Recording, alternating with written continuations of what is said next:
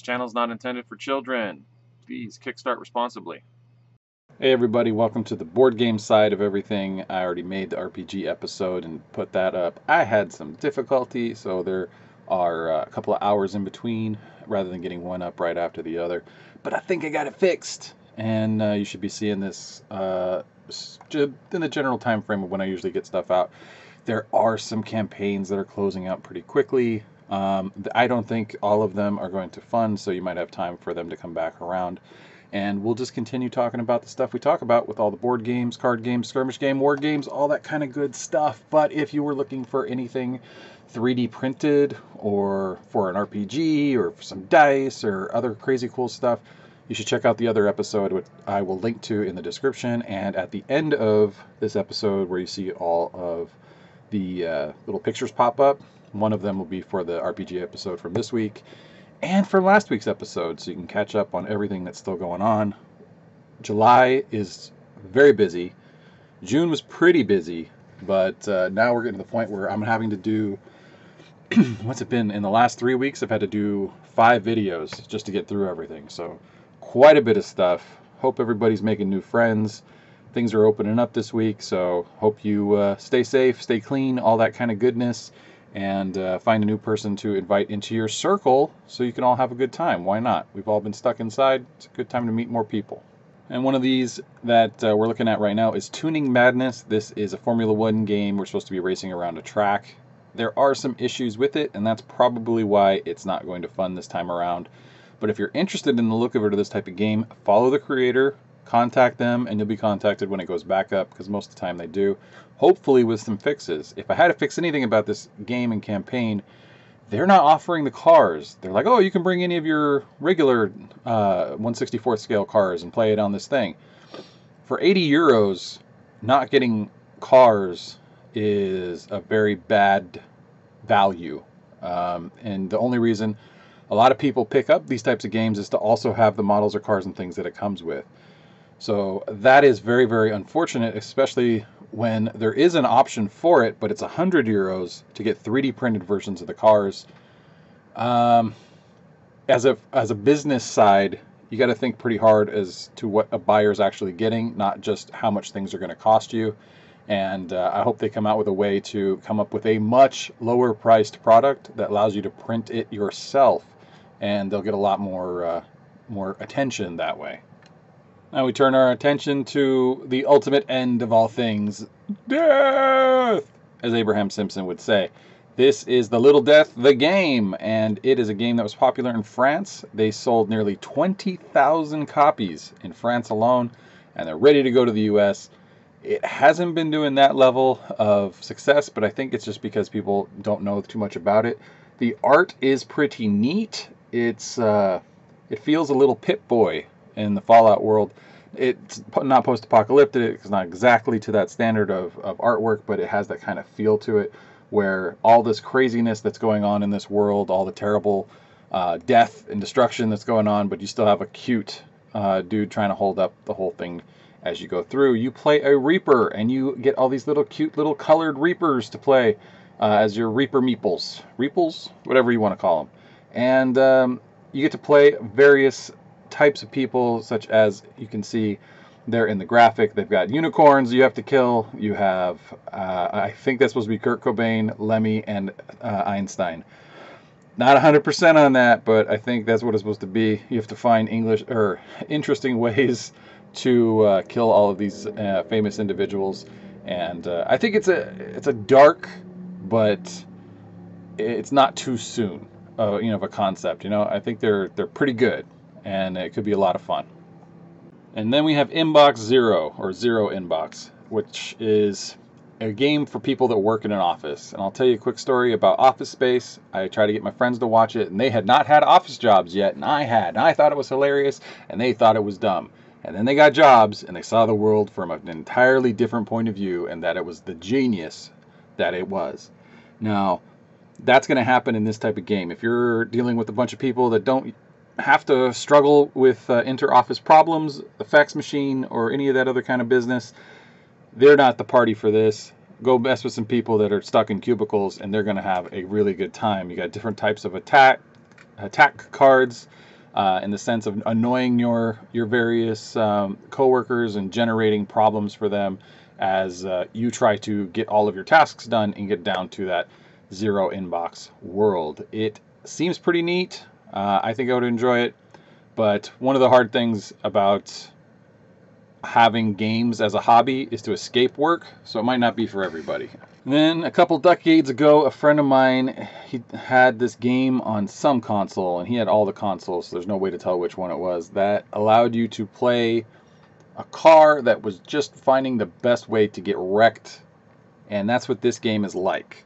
Uh, this one's called Crash, and use various cars, uh, cards to create various cars, and do the most damage possible by crashing into things. Um, I think the game was Burnout, maybe it was something like that. It, might, it was probably on a PlayStation. It might have been on Xbox, but uh, if that's what you're into, if you're into that um, kind of a, it's a, it's a it's a derby. I forget the name of it. We went to it at the Saga Speedway a couple times, and they go in figure eights and, and other stuff, and they crash into the various cars, and they take old beaters out, and sometimes they'll do like a like a car version of a human centipede and put three of them together and only the front one can steer and all this crazy stuff happens in the back ones. Demolition Derby, that's the word I'm looking for. And it's not quite that, but uh, it is in that kind of vein. You're just going to run in and crazy cabbie or whatever into uh, another group or car or whatever and mount up the points. If you're not offended by that, I know there was some controversy when those types of games came out. They didn't want to train teenagers to crash into things. But that's up to you. I don't think a board game is going to be too too much of an influence. And last week, I think we had a very crunchy baseball game. This is a little less so. There is some artwork involved, and it is Deadball Year 4. We've looked at the previous campaigns for the other years. Um, WM I remember the name and the artwork from a, few, uh, a while back. This is one of those where the stats of the game is basically how everything runs, but this one also has dice and other stuff that comes along with it to uh, change the game up quite a bit. They do not offer a lot of artwork uh, for people like me to help promote the game. Maybe they'll change that in the future, but uh, as you can see, it is something from the past brought up to today's standard that you can play, especially if other sports have been canceled. Maybe you want to pick it up. As this is year four, and they do have previous years you can pick up as well. Then we have a set collection game of curios. This is the whatnot cabinet, and you have colors, you've got shapes, you've got different types of things, and you were trying to figure out the best and most beautiful cabinet possible to throw together to keep all of your stuff. If you're into shelfie organization, then uh, maybe this is a game for you. If you want to try to uh, organize your thoughts by organizing flowers, butterflies, birds, and other stuff, maybe it will be a good way to like figure out where to put your wingspans, your photosynthesis. Uh, I don't know, potion explosion. Um, I don't know what you would put for the snails, but there's a lot of ideas that you could throw there and exercise your organizational abilities in your mind before you clean up your house. Then if you just need a simple dungeon crawl, that's what Mini Rogue is about. It has uh, a very clean design. I know that there is a technical term for this design style. It's like what you get on the Infographics YouTube show. Um, it, there's not a lot of detail put into everything, but it's there. It still looks pretty neat, and you do get some level of highlights and shadows, but for the most part, it's a very flat design in uh, how everything is uh, shown to you. You can't see a lot of the artwork here, so you might have to go in to check it out. But otherwise, this is a card game out of France, and it is uh, basically running through a uh, newly generated dungeon, taking various paths and looking for a skeleton king looking monster majig thing. And uh, it's got a couple of big old swords, and you got to fight it with whatever skills that you picked up along the way. Each time you play should be different, and that's what the roguelikes are for, right? It's supposed to be like those video games. Then don't let the name fool you. This is not about the country of Trinidad. This is about Ciudad de la Santísima Trinidad. It is the former name of Buenos Aires. So you have a colony that has collapsed in 1580, and you're doing everything you can to recreate it. So the people that are behind this have been known to do very heavy strategy games, and they're saying that this is going to be the same case. Um, they don't go too cartoony on any of the 3D printed stuff or any of the the minis. They all like like uh, interesting pirates and uh, other types of conquistadors.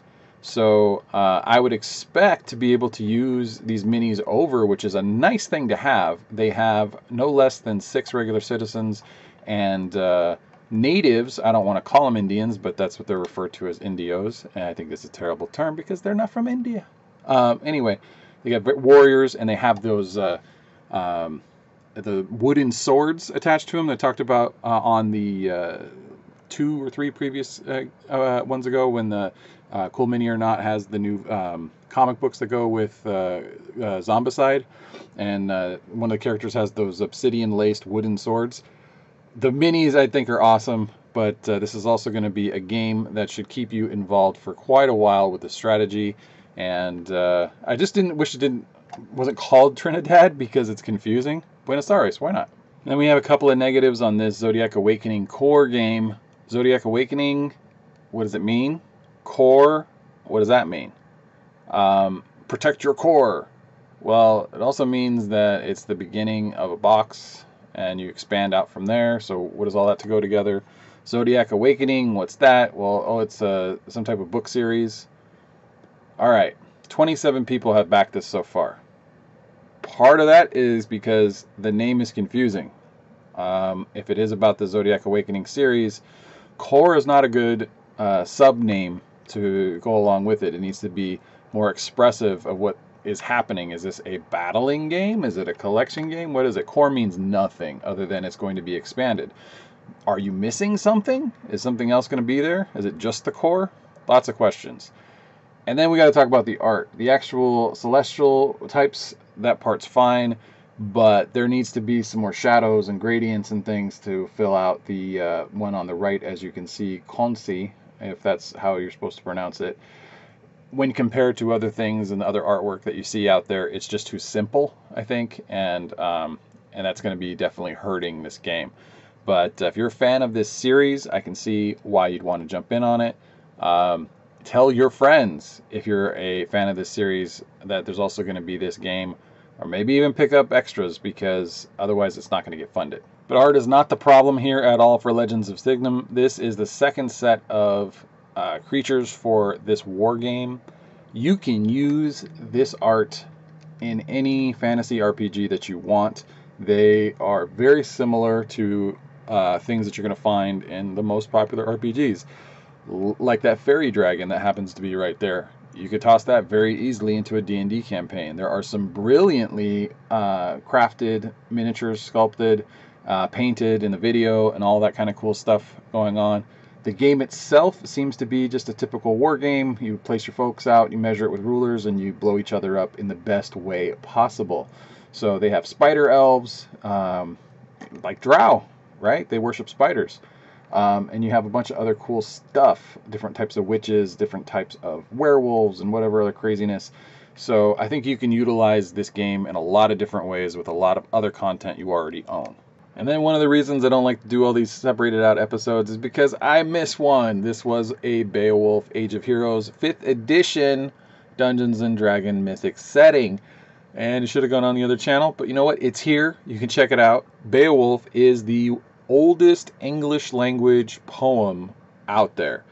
And you can't read it as if it were modern English because it's not in modern English, but it is in the language of the people that were in England. And it is one of the most underutilized fantasy uh, properties out there. Yeah, they got the 3D movie that was out there that uh, had Ray Winstone as the voice and he looked like Thor and all that kind of cool stuff with uh, Angelina Jolie as Grendel's mom. You have the Seamus Heaney translation, which is the best one that I've ever seen. It does not take a whole lot to uh, to get through, and it is a wonderful translation. But what do you do after that? What do you do with all of the the shieldlings and other crazy folk that are in there? Well, make a D&D campaign about it because it's got all the things you need. It's got kings and heroes and monsters and crazy long periods of time that uh, all of those sins come back to haunt you.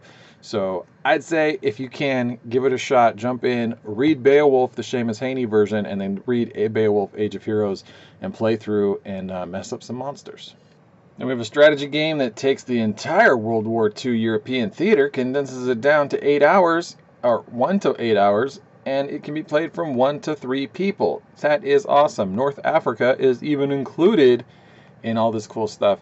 It doesn't call itself a war game, but you know it's got all the cubes and everything that makes it look like one of those typical uh, strategy war games that we see every week. Um, yeah, if you're a number cruncher, if uh, you don't mind the cubes instead of having minis and that kind of stuff, this may be a great way to get started. I like the idea of being able to play in only an hour, and uh, having one to three players is awesome because a lot of times you have a minimum of two players. So this is something that you can at least play solo. Now, I'll be honest, I don't typically use Tamiya model paints because I have so many other types of acrylics. Um, the uh, main thing being I use the uh, regular uh, the cement, the thin cement. That's what I use on all my Kingdom Death stuff and whatever else needs to be repaired. So it's a good brand.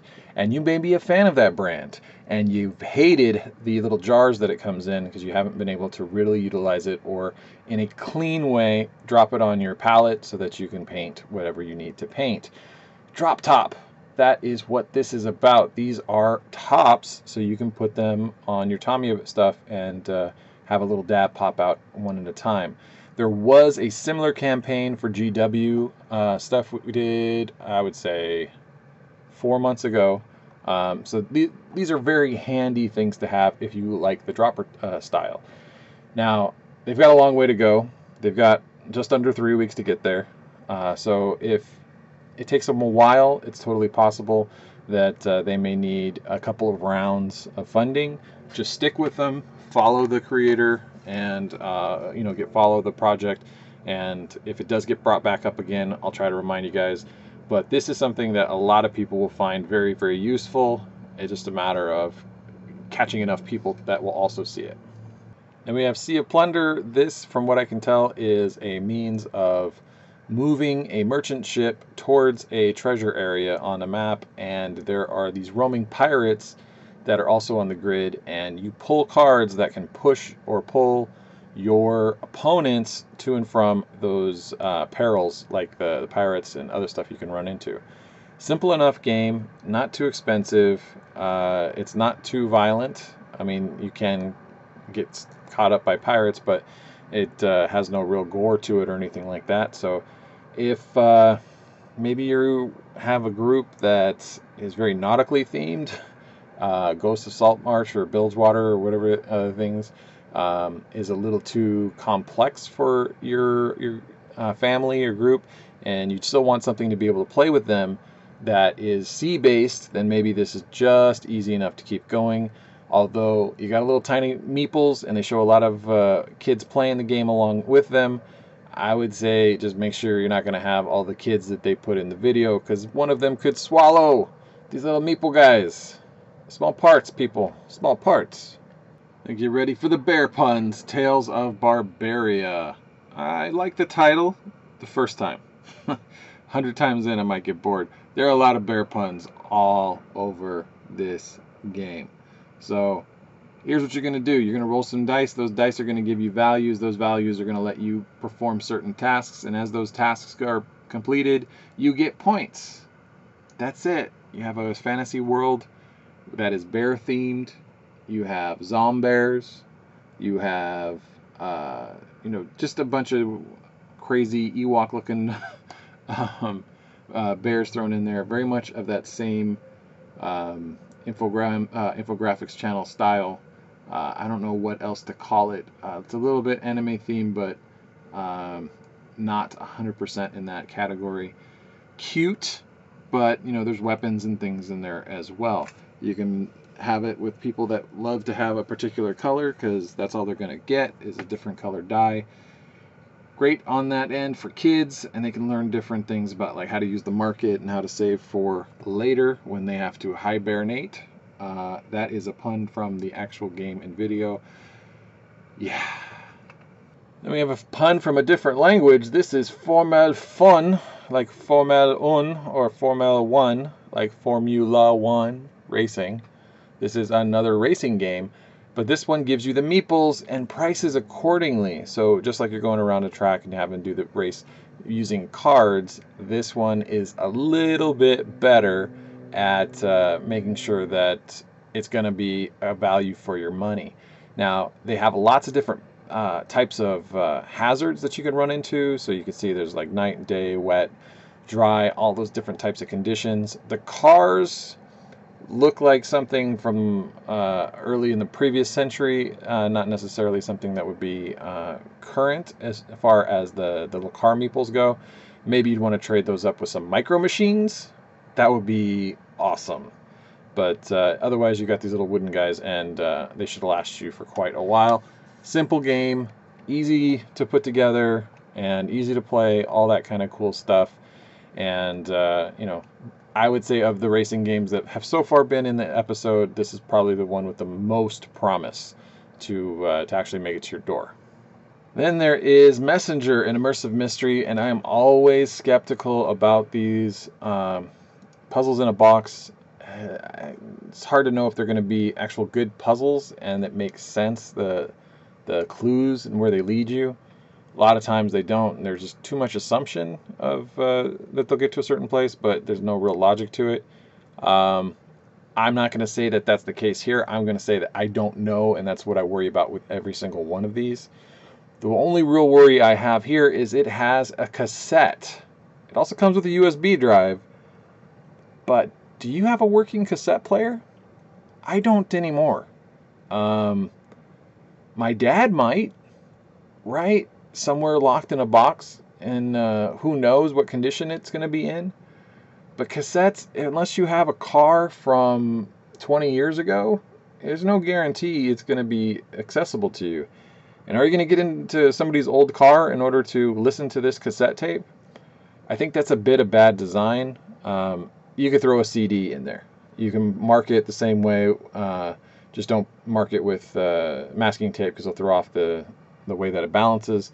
But you know, they could write on it with a marker, same as what's what's there, and it would be just as effective. So just make sure you can use all of the tools if you decide to pick this up. That's what I'm getting at. Then we have on the square. This is about the first three degrees of being a Freemason, which no one is supposed to know about if you're a Freemason. You're supposed to not reveal this kind of thing on punishment of death right? That's what you swear to when you're part of it. My grandfather was a Freemason. I have not yet joined any of those types of things because I don't qualify. But uh, what you need is to, at the minimum, keep your mouth shut. So I'm wondering what this would even be about. I know it's just a boys' club. They try to figure out some charitable works, different things to do. Most of the time, they just try to figure out what's for dinner or lunch.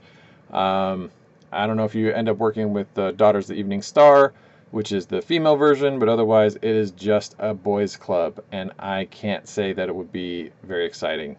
Um, it does look like some type of set collection game, and the exciting part may be based on how you move on this semi chessboard uh, look. I mean, I don't know. like I said, it just doesn't seem like it would fit what the actual claim is because it's supposed to be from a secret society.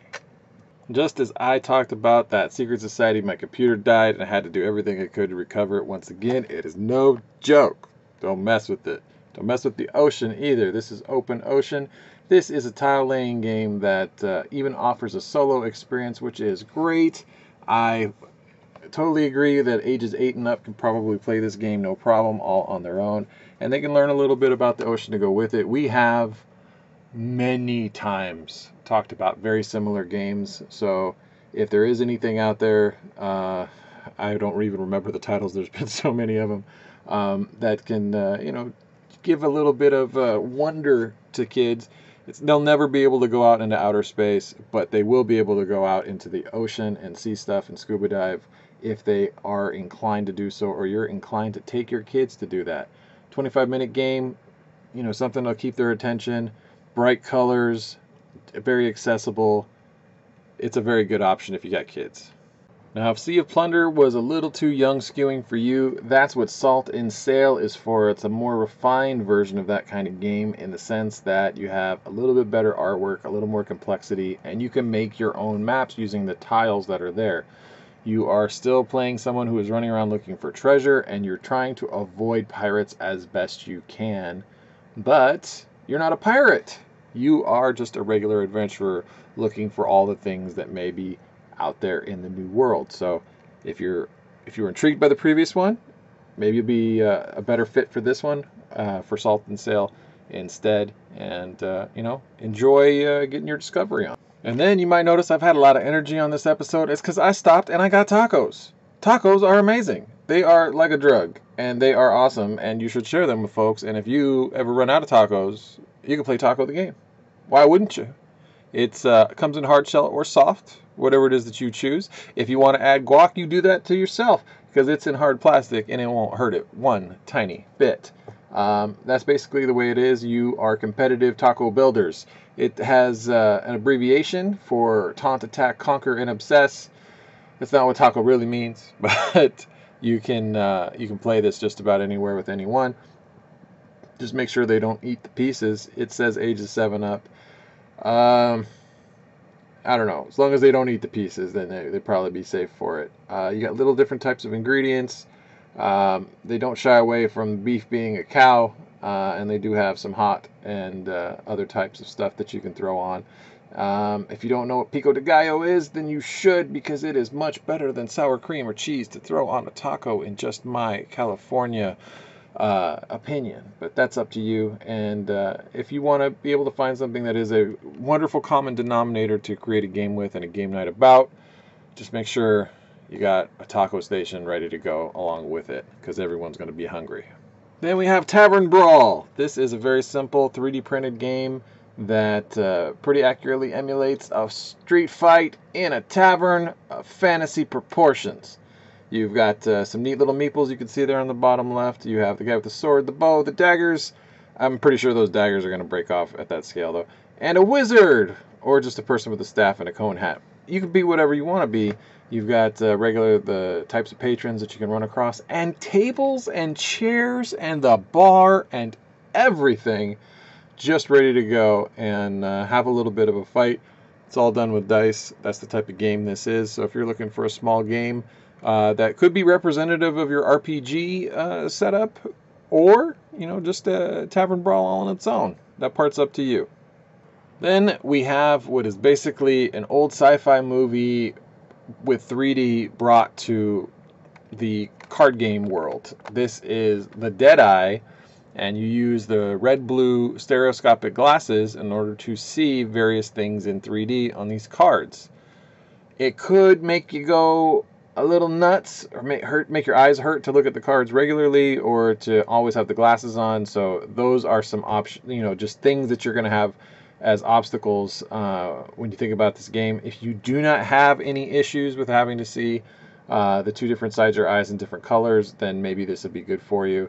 Um, it's neat to a degree. I mean, it's one way that you can make certain things on the cards remain secret is by having uh, them uh, behind things that only the glasses can see. And uh, otherwise, you know, you got yourself a sci-fi solo card adventure that uh, you know could be a lot of fun. And uh, it looks like it takes place in uh, like a mining colony or something like that. Mainly, it's the gimmick of the glasses, and that's the only real warning I have is just make sure that you're not buying something that is going to hurt your eyeballs. Then we have a game that we covered very recently, and this was a game of acquisitions. This is based on the game Acquire, and you're just trying to get some coins. It is played through using that table there up in the upper right. You have different things that you can exchange, and you're going to go back and forth and try to get as many coins as you can. Um, then they're going to make some type of chess piece uh, looking buildings to be able to I don't know, be some kind of stronghold. If you played the game of Acquire before, then this is just a fantasy version and you might want to jump in on it. It's a second round, third round, whatever it is through. It might need another one, uh, but it looks like it's about halfway to its goal and very well could be complete on this round of funding.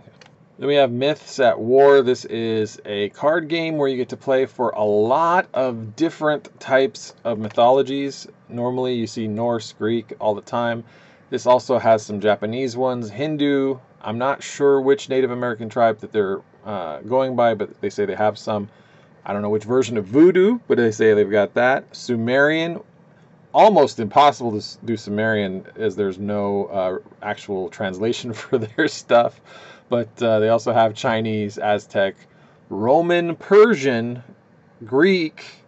They say Transylvanian? Really?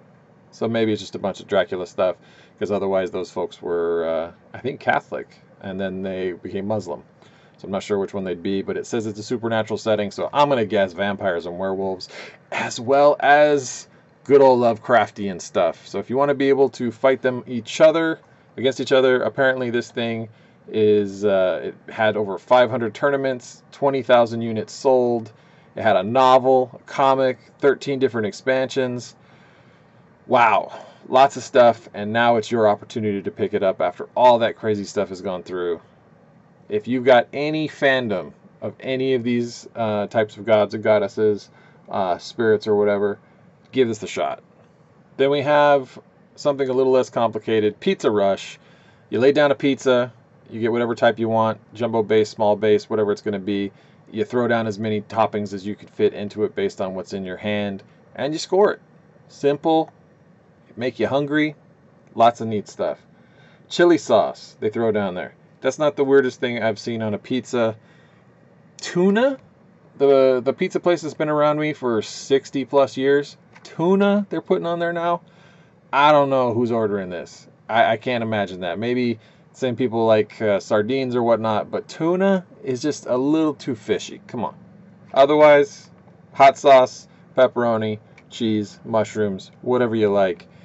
Feel free to make that pizza, score it up, beat your friends, and then go order some pizza. All right, quick warning this is the last family friendly campaign before the next one, and that next one is going to be a little bit of a challenge based on the theme and everything. So if you've got kids, when I get to the end of this one, skip and go to the next one if you're they're following along with. But if otherwise you have a uh, good naughty sense of humor, feel free to carry along. And what's this one about? Pyramid of Khufu. It is in conjunction with a uh, Velindre Cancer Center UK. It is about Egyptian gods and goddesses. I just finished playing uh, 100% completion through uh, Assassin's Creed Origins and it has a lot to do with these various gods. It is a fascinating world. It is not uh, it's not just one time period and and everything's the same. It has got a lot of different uh, changes and things, uh, technologies that come in, and uh, changes made by various gods and goddesses as you go through. But they maintain the uh, the art style very well uh, throughout this game to be reflective of the things you might find in a pyramid and uh, you know whatever has survived is right now probably in the UK anyway, so it's not a bad place to get that source of info from. So if you're looking for a neat card game in the uh, Egyptian, ancient Egyptian realm, give this a go. Now we're going to go on to the next one, and it's a doozy. You've been warned.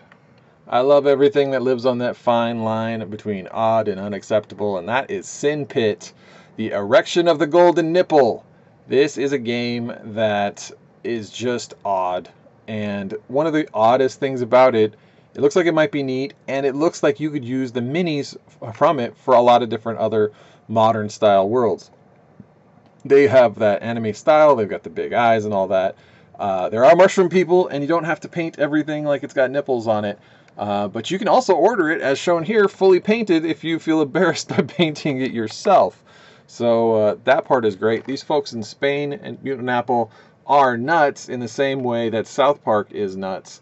This is just a regular tile laying game, doesn't have anything uh, particularly disgusting or uh, weird about it except for the fact of its names.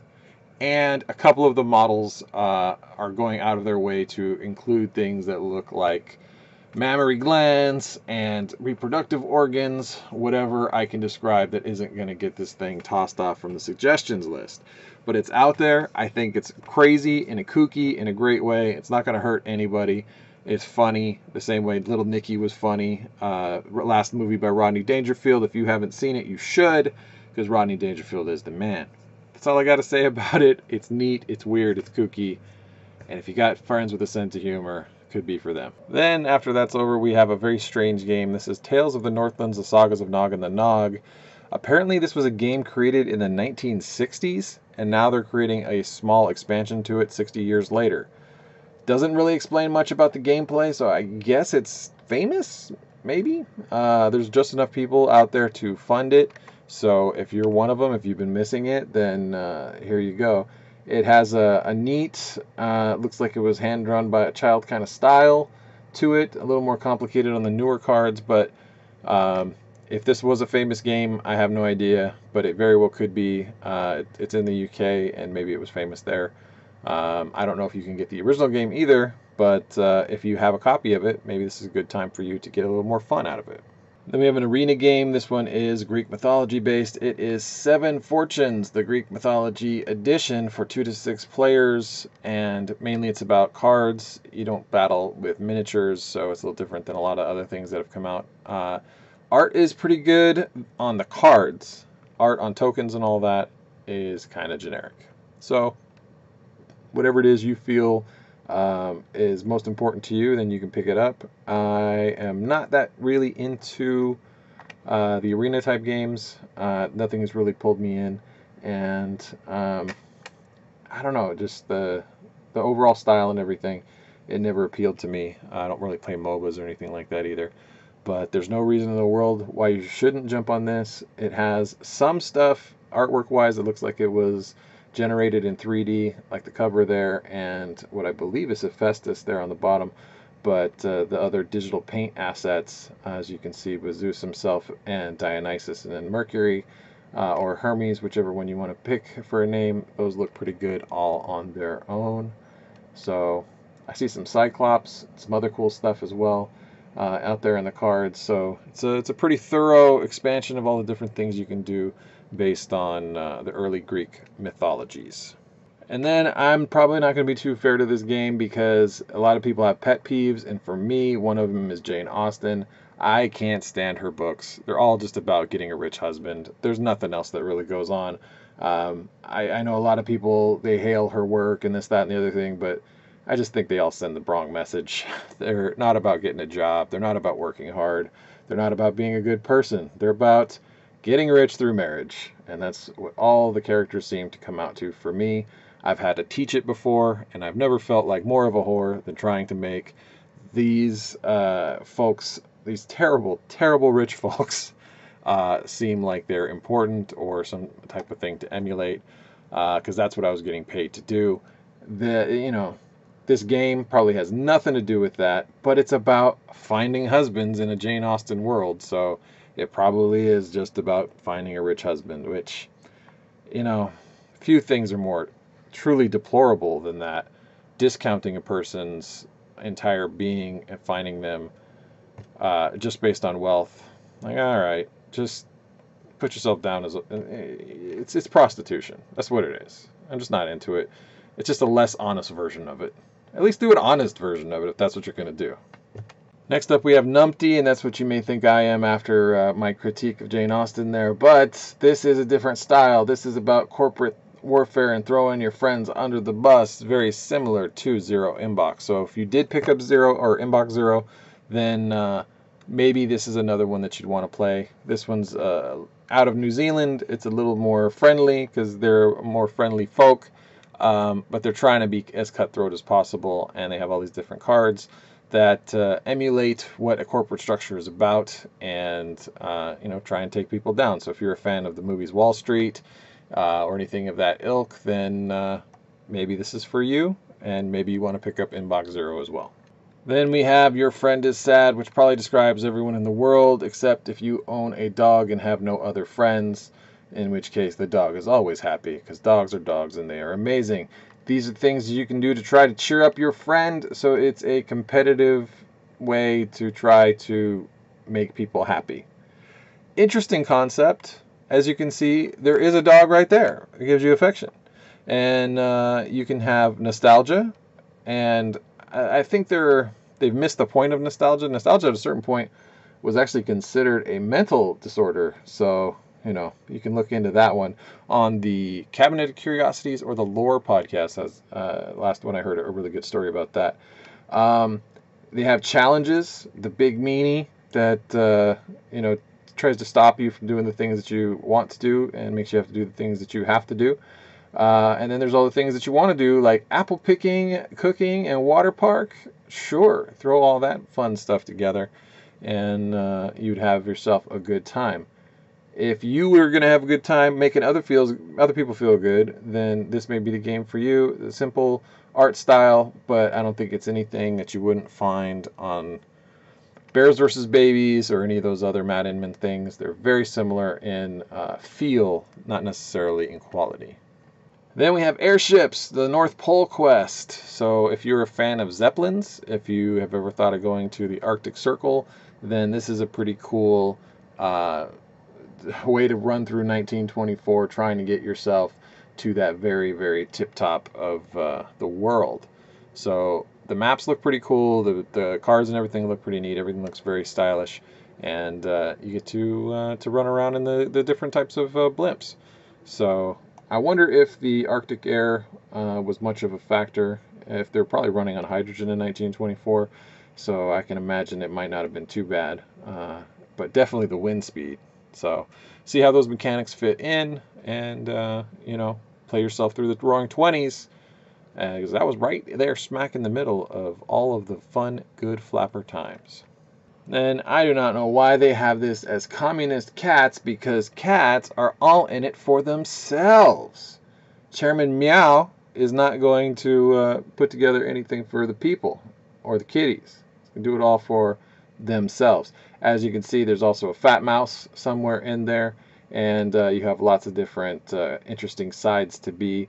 You can be part of the revolution. You can try to negotiate. You can be a theorist, a commander, a general or just a fancy cat in a suit. So I know there's a lot of people that probably like the art style pretty well. Uh, I just didn't think that it tied in. Uh, it was kind of gimmicky in the idea because, like I said, they're soul, they're solitary hunters. They're not pack hunters. Now, if you put dogs in here, because they uh, are pack uh, animals, then it make a lot more sense to me. But uh, go with what's cute. Go what you like. That part's up to you you start the game with a couple cards, and then you draw some cards, and you play some cards, and you do everything you can to gain influence, capture the mouse, or destroy your opponents. Just get to the chairmanship, and then you'll win. So, if that's something that sounds like it'd be fun for you, run for the kitties, comrade. Then we have a game that may become less and less in good taste. Uh, last year we had the crazy Australian fires. The Brazilian rainforest is still on fire.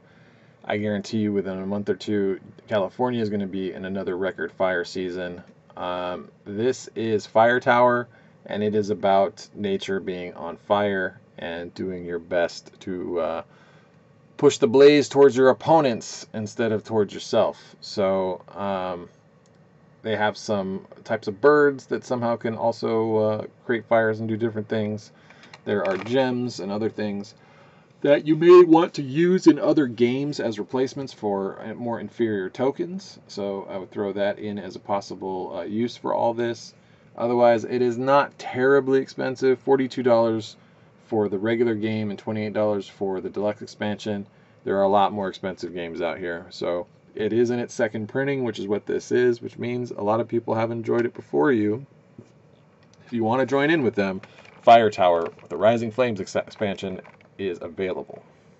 Then we have IT Startup, which is very similar. What do I do in a day job? I sit there and I, I quality control stuff. And it's got lots of cool stuff that you would find when looking out for someone. See, QA Wizard Engineer. There, right there in the corner. It's someone like what I do. Uh, full Stack Ninja Research Engineer. Those are people that we all want. Debugging is what I end up doing. Technical debt, ooh, that is uh, is very uh, very much what it feels like to uh, to have all that corporate paper after you. Monster bug that you have to fight down. Yep, yep, yep. Check all those off. It is definitely an IT-based adventure game, and not just something that is going to try to be super nerdy about everything. It is more about those constant perils uh, I feel it reminds me of the Illuminati game that I saw in the mid 90s, um, just because you have all these uh, strange, terrible things that could be out there in the world, and they're all trying to attack the thing that you love, such as your company, and those are the vectors which you're going to be attacked by. So, uh, yeah, I think it's a neat uh, little game. It doesn't have a lot of super complex pieces along with it, but the card art is nice. It seems to be fun and thematic even if it's black and white, it's easy to see and easy to play. Then we have a sci-fi dice game. This is Merchants of Kulta, and uh, it says that it has a unique dice manipulation mechanism. Um, maybe it does, in that you can re-roll things, which uh, can be very annoying when you're playing some other types of games. Um, if you're just getting something totally useless and there's nothing else you can do, you have to somehow get a higher result. I think so. If you rolled a one, then you can keep rolling until you hit six uh, and that might be uh, useful to you or it might not depending on the type of merchant you're going to use at the time. Lots of alien beings, lots of interesting things to be there. There's some type of uh, cross between a gerbil and uh, a bunny, and I guess they're both rodents, right? And then you have your uh, praying mantis types and your Groots and chameleons and minotaurs with brain suckers attached to them. There's a lot of things going on. So if you need something to be representative of all the things that you could find in one of those, uh, you know, dens of scum and villainy, then why not be part of the Merchants of Kulta? And then the last campaign I could fit into this is the War of the Spike limited edition Spike Feeders playmat, which you can also pick up some dice that look like cacti on them. Um, this is for Magic the Gathering or any other game that you want to play. If you like the idea of having this snow cactus attacking people, um, you've got flying paladins and dragons, and you have possibly some zombies uh, thrown into the mix, maybe a lich or a wraith, whatever you want to, to see it as. That part is all fun and good. Lots of monsters and things to fight those monsters. But if you don't like this, then don't buy it. uh, there's not a lot of other options available. Um, but like I said, they do have the dice and a few other things. They're not really going for a whole lot. I'm not sure if this is a famous icon of some uh, form uh, to have this cactus deal, or if it's just something they were trying to throw out there to uh, to get people uh, involved in it. So if you do know what it is, you can throw that in the comments. You can also hit like and subscribe because that'll be helpful. This here is the end of the coverage. I tried to talk as fast as I could to get through it, but to keep you awake, to keep me awake, because we still have another video that you may or may not have watched already for the RPG side of stuff. Lots of cool things are in there, and you should check those creators out. Uh, I think we got pretty far caught up, but I did not get everything that's in July already, and obviously more is going to pop in, as it is only the second week of June, and uh, next week is Father's Day. Lots of folks are getting the day off on the 19th. And if your company wants to do that as well, that would be awesome. Join in on that effort um, just to make things nice for the people out there that uh, want to remember things in a good way and want to see some progress going forward. Uh, and who doesn't want a day off from work you get paid for, right? Think about that for a little bit. Uh, something to reflect on. Anything else to reflect on is if you've hit that subscribe button, if you want to help me out because you like this type of coverage, you want to know uh, all the cool stuff that's out there, you like someone who makes it easy for you to jump ahead and uh, not have to sit through a whole 45 minute video if you don't want to. Hey, we do what we can. You do what you can. Try to make the world a better place. Play some games, be happy, enjoy your weekend, and I guess I'll see you guys on the next round. And uh, Maybe I'll be around for Father's Day. Maybe I won't. We'll see how things go uh, if I'm not around.